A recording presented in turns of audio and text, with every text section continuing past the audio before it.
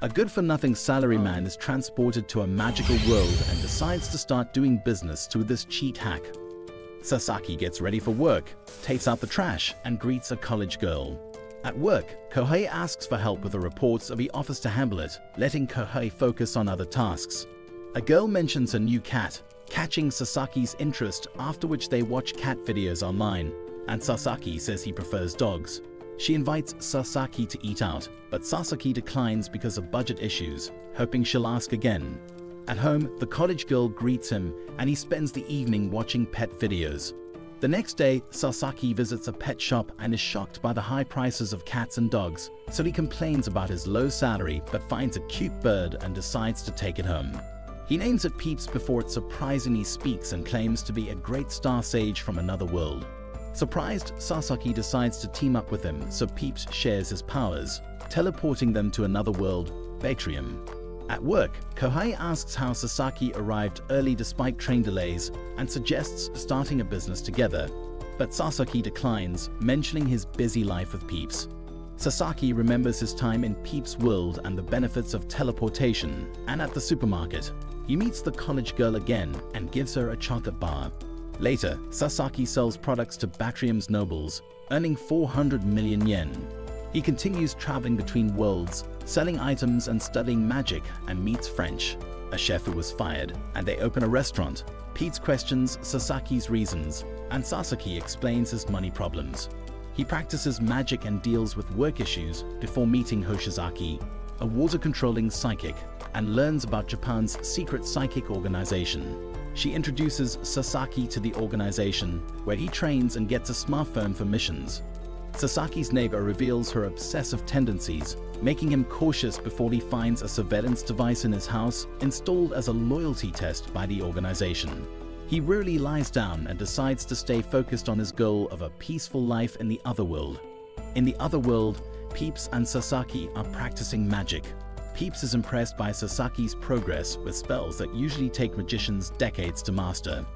Sasaki credits his progress to the power Peeps shared with him and keeps track of his progress, noting that he learned healing and lightning spells today.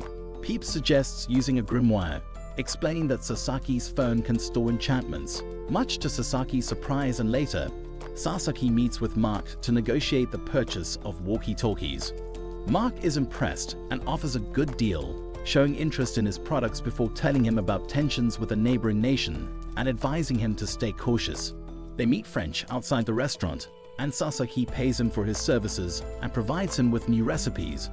Back in the modern world, Sasaki is awakened by a call from Hoshizaki about a mission and at work, she tells him off for not being prepared. Veterans greet Sasaki before they leave and the director briefs them on the mission to arrest unregistered psychic users, including one who attacked Hoshizaki during the mission, they find the hideout empty before they're suddenly attacked by levitating objects, indicating the presence of high-level psychics. Sasaki and Hoshizaki defend themselves, with Sasaki assisting her with his water supply before a psychic girl suddenly appears, sparing Hoshizaki and telling Sasaki to reveal himself. He tries to negotiate and eventually uses a lightning spell to defeat hidden psychics. The girl offers him a truce and invites him to join her group which she declines so she decides to retreat in the end. Sasaki reports to Akutsu, who apologizes for the danger after which Sasaki and Hoshizaki go out for dinner, where she reveals she's only 16 years old and on his way home. Sasaki runs into a strange levitating child who disappears through a portal, leaving him confused. At home, Sasaki surprises Peeps with the beef he wanted before thanking him for his help. Peep starts eating, amazed by the taste, while Sasaki takes a picture and helps him clean up while talking about his first mission. He asks to learn a barrier spell, and Peeps suggests a healing spell too. Sasaki thinks it's urgent and asks to be taught after his meeting with Mark. Excited about a soft bed and French's food after training, Sasaki is surprised when the Viscount talks about war. He realizes Mark was right and Mueller says the king ordered them to the front lines against the powerful Ogun Empire. Their army is twice as big, and if they reach the city, they will cause great damage. Mueller asks for Sasaki's help, but Sasaki wants to avoid wars and politics. However, Mueller says his items would be crucial in the war and asks for his exclusive services. Mueller explains the challenges of transporting supplies to the front lines and the impact on the economy before revealing the king's orders to build strongholds and feed the front lines, leaving him no choice but to obey.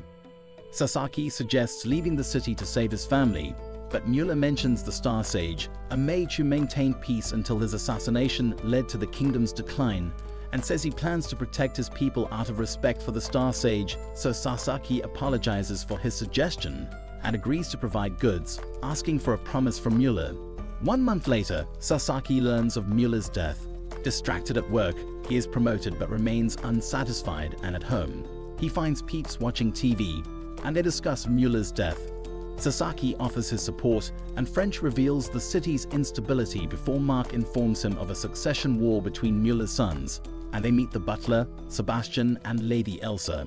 Sebastian asks Sasaki for communication equipment, which he cautiously agrees to provide. At night, Sebastian makes a call, discussing how the plan is progressing well. He mentions that greedy nobles surround the two brothers, and now that Mueller is gone, their rivalry is increasing. Sasaki and Peeps have dinner with Elsa, who praises their food. Sasaki thanks her, reflecting on French's cooking, and Elsa is impressed with Peeps and asks to pet him. Sasaki agrees, and Peeps enjoys it until she accidentally hits his eye, making him scream. Elsa is shocked, thinking he spoke, but Sasaki tries to cover it up before Mark suddenly appears, telling them to return to the castle. At the castle, Sebastian presents her brother's bloodied swords found in the forest. Elsa is shocked, and Sasaki asks what happened. Sebastian says they don't know, but it looks like a brutal battle happened, so they must fear the worst. With her father and brothers gone, Sebastian tells Elsa she must take over as head of the family, but Sasaki thinks it's not the right time, so Sebastian insists, saying the family will dissolve otherwise. Elsa feels pressured and accepts, while Sebastian promises to support her. Returning from the castle, they see people evacuating, Mark explains that the king's forces were defeated and attacks on nearby regions have begun. He plans to take Elsa to the capital for safety and asks Sasaki to join them, but Sasaki declines. Mark feels bad for Elsa, whose first duty is to abandon her family's lands and later, Sasaki and Peeps watch the sunset. Peeps makes a request, and Sasaki agrees to help turn the tide of the war. Peeps thanks him, and they head to the enemy camp which Peeps eliminates with a single spell, impressing Sasaki. A red beam breaks Peeps' barrier, separating them before a girl appears, and Sasaki watches as Peeps fights her. Mueller and Adonis arrive, surprising Sasaki after which they help fight off an elite orc. And Peeps reveals his true identity as the Star Sage, so they agree to keep it a secret. And Mueller is reunited with his family. Elsa approaches Sasaki and thanks him before embarrassingly running away. At school, Otonari notices Sasaki has been absent for days which is unusual, and while walking home, she finds a body and the police arrive to investigate. She overhears officers mentioning that Sasaki and Hoshizaki will handle it. Sasaki returns home. Realizing days passed while he was in the other world, they review their actions, having ended a war and helped with Mueller's succession. As a reward, Mueller became an Earl and Royal Guard, managing Adonis's funds. Hoshizaki arrives, scolding Sasaki for not leaving a note. On a mission to recruit a psychic high school student with fire control powers, they observe him being bullied before Sasaki suggests contacting him alone to avoid hurting his self-esteem. But Hoshizaki devises her own plan. In a cafe, Sasaki spots the boy with a girl who looks familiar. The bullies confront them, and the boy uses his power, accidentally hitting a plane as Sasaki raises a barrier to protect them. Realizing the girl is Hoshizaki, who explains her recruitment plan, and they put everyone to sleep. Suddenly, a strange girl attacks the barrier so Hoshizaki and Sasaki prepare to leave, recognizing the girl as a magical girl before she reveals her intention to kill psychics and attacks Hoshizaki, who is knocked out. Shizuka Futari, another psychic, arrives to help so Sasaki distracts the girl while Shizuka attacks, but the girl reveals she killed the fairies who made her a magical girl and uses a portal to leave after disclosing that she hates psychics because they killed her family. Hoshizaki and the boy rest in a hotel while Sasaki thanks Shizuka for her help. Shizuka wants to join their team, but Sasaki says he can't make that decision so she asks to talk to his boss, showing interest in him despite him saying he's ordinary. Shizuka points out his abilities, thinking he's hiding something, and Sasaki realizes she's figured him out so she promises to keep his secret if he helps her. Akutsu calls Sasaki, who explains their encounter with a magical girl and mentions Shizuka's job request, so he agrees to arrange an interview for her. They return to the department, and Sasaki stops by a store where Shizuka compliments his choice of pickled plums. Outside, Hoshizaki comments on Sasaki's closeness with Shizuka, noting the danger she poses as an A-ranked psychic who drains life energy and can heal quickly. They meet Akutsu, who talks about the boy's care and the cameras before she demands the cameras be removed and Sasaki offers Akutsu a pickled plum, surprising him with its taste. At home, Sasaki encounters Shizuka, who asks to stay the night, revealing she's been spying on him. She suggests a deal involving her fortune, tempting Sasaki, but he asks for time to decide. Peeps and Sasaki discuss this, considering Shizuka's connections to buy and sell valuable items from the fairy world before Akutsu arrives, questioning Shizuka's intentions. She asks to assist the department, and Akutsu places her under Sasaki's supervision, promoting him. Sasaki and Shizuka celebrate with drinks and he thanks her for the gift, sharing it with everyone. He asks Shizuka to do her best, hinting at recruiting her former companions before Hoshizaki joins them thanking Sasaki for saving her and offers him homemade eggs, which he enjoys immediately. She teases Hoshizaki, who denies being jealous but feels uncomfortable seeing them close. In the other world, the king gathers nobles to discuss their conflict with the empire, worried about their future. To ensure prosperity, he declares that all his successors will have equal influence in state affairs, with the greatest contributor named Heir in five years. Mark's business is going well, but a carriage nearly hits him a man accuses them of hitting Count Dietrich's carriage. Mark's companion recognizes Herman inside.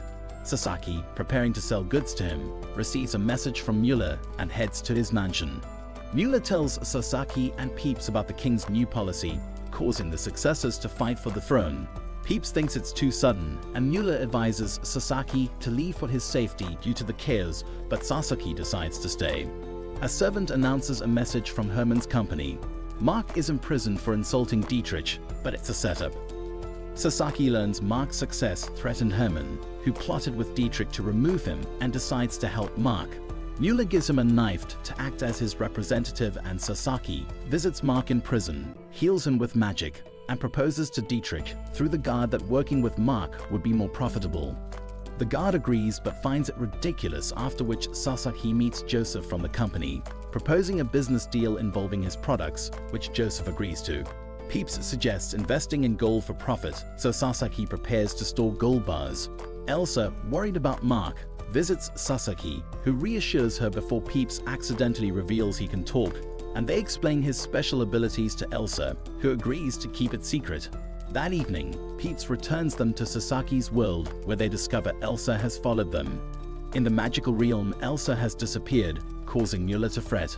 Shizuka is amazed to discover humans there, which leads Elsa to question who she is. Initially, Sasaki wants to speak privately with Elsa, but Shizuka insists on joining. Worried that Shizuka might uncover his lies, Sasaki struggles to hide the truth about the other world. However, Peeps reveals that she can't understand their language due to magic. Elsa accuses Sasaki of being involved in Mark's capture and his recent transport of gold. Sasaki denies this, explaining the gold is meant to help rescue Mark before reassuring her of his loyalty to her father and his determination to save Mark, despite Shizuka's behavior, which prompts Peeps to step in with a restraining curse. Admitting defeat, Shizuka backs down, and Sasaki urges Elsa to return home, but she insists on immediate answers, he decides to show her Tokyo, gradually earning her trust by revealing his interest in her world and desire for peace. Eager to contribute, Shizuka arranges a ferry ride and provides kimonos for their city tour. However, their outing attracts unwanted attention from reporters, and Elsa's magic is accidentally revealed. In a meeting with Akutsu, they start getting questioned about Shizuka and Elsa's involvement before she's assigned a mission. Later, Elsa says she wants to learn more about Sasaki's world so Pete suggests that they explore even more. As Elsa learns, Shizuka finalizes payment with Sasaki before he takes Elsa back to her realm. French brings food to Mark in prison using Mueller's knife, as requested by Sasaki to boost Mark's morale with his cooking. At the Viscount's mansion, Elsa apologizes to her father, who is relieved to see her safe. Mueller hasn't made any progress with Mark's situation when a maid announces a visitor, prompting Elsa to listen in. Kai, Elsa's brother, appears, advising her not to disappear again. The visitor is Herman, apologizing for Mark's trouble. Despite Mueller's reassurances, Herman reveals Dietrich's decision to execute Mark, declaring that he should face the consequences. Mueller decides to negotiate with Dietrich using money for a delay, while Sasaki thinks about Dietrich's harshness. Mueller reveals their long-standing conflict with Dietrich and agrees to Sasaki going with him to the meeting. In the carriage, Sasaki explains his indirect problem-solving approach, and at Dietrich's mansion, they meet with Dietrich, who tells them that Mark's fate is sealed. Sasaki gives Dietrich a gift, impressing him before he proposes that if Sasaki sells his goods to him, Mark will be spared. Mueller objects, but Dietrich insists on executing him. Sasaki asks for time to consider and is given a month. Later, Mueller apologizes for involving Sasaki, who says saving Mark is their top priority before French rushes in, distressed about Mark's execution, so Sasaki requests time to plan. Sasaki tells Mueller about his plan, asking for help for a task involving flying in exchange for Kobe beef. Meanwhile, Dietrich discusses what happened with Herman, waiting for Sasaki's response. Sasaki prepares to move his goods to set up a new trading company, using them as security. He plans a larger delivery and meets Joseph, accompanied by Matisse, looking for advice on a loan matter. Back in Sasaki's world, Otonari overhears him, questioning his late work. Sasaki leaves after a call from Shizuka, while Elsa frets about her father but is reassured by Kay as the carriage arrives with Mueller and Maximilian. Herman meets with Dietrich, unaware of Sasaki's decision-making and wonders what they'll do before Dietrich receives a letter and starts smiling. French seems worried, but Sasaki advises him to stay calm before Dietrich arrives with Mark asking why Sasaki chose the restaurant. Sasaki, since he owns the place, he suggests they talk over a meal so Sasaki introduces French as a cook and asks about Mark's location. Dietrich reveals Mark is in the carriage, offering to release him if they agree or take him to execution otherwise. Wondering where Mueller is, Dietrich is surprised when Mueller arrives with Prince Adonis. They gather, and Sasaki tells French to start cooking. Dietrich asks why Adonis is there, leading to a casual conversation about the kingdom's future. Thankful for Adonis' support, Sasaki offers compensation for Mark's mistakes, refusing Dietrich's demand to sell directly to him. Dietrich, valuing Mark's dignity, demands a payment of a thousand gold coins, which the Sasaki agrees to, suggesting a down payment and promising to pay the rest soon. Dietrich doubts this, but Sasaki convinces him of Mark's future value, convincing him to release Mark. Herman protests, but Dietrich ignores him before Joseph arrives unexpectedly, explaining how he helped with Dietrich's debt, so Sasaki shares his plan for a new trading company run by Mark, exciting everyone about the future. Grateful for Joseph's help, Sasaki and Mark look forward to working together. Later, Pete praises Sasaki's clever strategy. Impressed by his careful planning and Sasaki explains how he used Adonis's influence and learned about Dietrich's financial problems. As he's returning home, Sasaki suddenly gets a call from Shizuka, who needs his help. Sasaki goes to Shizuka's apartment and finds it in ruins. While searching for her, a group attacks, but Peeps shields them. Sasaki eventually finds Shizuka hiding, and after he tends to her wound, she expresses admiration for his skills and promises not to reveal his powers to the Bureau, proving her loyalty by showing a curse mark. The attackers, sent by Shizuka's former organization, continue their assault as Shizuka reveals that one of their targets who was assigned by Akutsu is among them. Despite not being certain about their motives, she's determined to face them. The leader of Shizuka's former group appears, and she's afraid because they're outmatched and senses power to materialize his thoughts is very dangerous. He demands Shizuka's return, but she refuses. In retaliation, he summons a duplicate of her to eliminate her Sasaki realizes that fighting the duplicate is useless, so he and Peeps prepare to defeat it together. Peeps agrees, surprising the leader with his ability to communicate. As they gear up to leave, the leader attacks with grenades. Quick action from Peeps saves them, leaving Sasaki curious about how Peeps knew they were explosives. After stopping them, they confront the leader, who summons various different beings. Peeps' abilities surprise him, and eventually he gives in, allowing Shizuka to leave so Sasaki negotiates with him to ensure her safety. He asks the leader to inform the Bureau that Shizuka has cut ties with his organization and requests secrecy about his abilities in exchange for peaceful relations. The leader agrees and Shizuka offers her help, even agreeing to an odd request for refined sugar, but Sasaki suddenly gets a call from the bureau, telling them to return. A helicopter arrives to pick Shizuka and Sasaki up, and as they near the bureau, they hear about a sudden attack by the magical girl, who has brought a friend this time. Earlier, Sasaki tells Peeps to stay home as the incident is labeled as a terrorist attack. Dodging an energy beam, Sasaki remembers the girl's dislike for psychics. Despite landing safely, he wishes Peeps was with them, realizing his teleportation ability could have swiftly resolved the situation by placing Shizuka next to the girls. However, he understands the need to keep Peeps' abilities hidden from the Bureau. Inside the building, Hoshizaki and other agents are having a useless firefight with the girls, unable to breach their strong barrier. Monitoring from a control room, Akutsu acknowledges the barrier's effectiveness, but notices that Sasaki's arrived. Shizuka asks about Sasaki's plan, and after thinking about it, he suggests using water pressure to force the girls to lower their barrier. Shizuka questions if he can use his powers inside their barrier, prompting Sasaki to weigh the required proximity. Despite the risk, they agree to try the plan. Sasaki encourages Shizuka to capture one girl which will make the other one serene. While she finds his request challenging, he says her role is important in saving the Bureau. Noticing Akutsu's camera, Sasaki signals he's ready, leading Akutsu to order an attack. They begin their attack, with Shizuka using her water manipulation against the girls. Taking the opportunity, Sasaki invokes his spell, flooding the barrier. As they start drowning, the girls try to create openings, but Sasaki counters with more water, freezing their attempts.